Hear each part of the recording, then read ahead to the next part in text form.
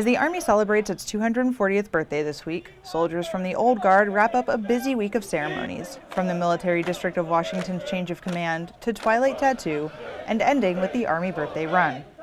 Over 1,000 soldiers from the Joint Force Headquarters National Capital Region and the Military District of Washington gathered on Fort Myer this morning with the Director of Army Staff, Lieutenant General William Grisoli, and Deputy Chief of Staff, Sergeant Major Stephen Payton. I say on behalf of the Secretary of the Army, Chief of Staff of the Army, and the Sergeant Major of the Army, thank you for all that you do every day.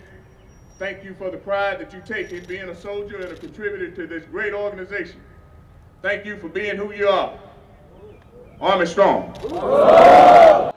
From all of us here at the Old Guard, happy birthday, Army.